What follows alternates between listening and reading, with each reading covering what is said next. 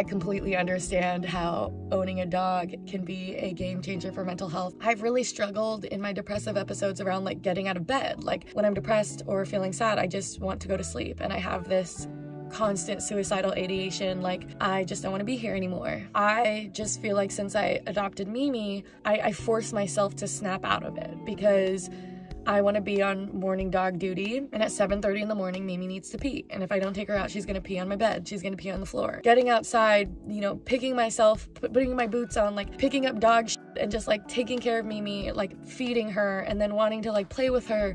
It snaps me out of I think these like dark spirals that I uh, sometimes get into. I apologize to all dog moms and dog parents I've ever made fun of. Like, Mimi is the best thing in the world.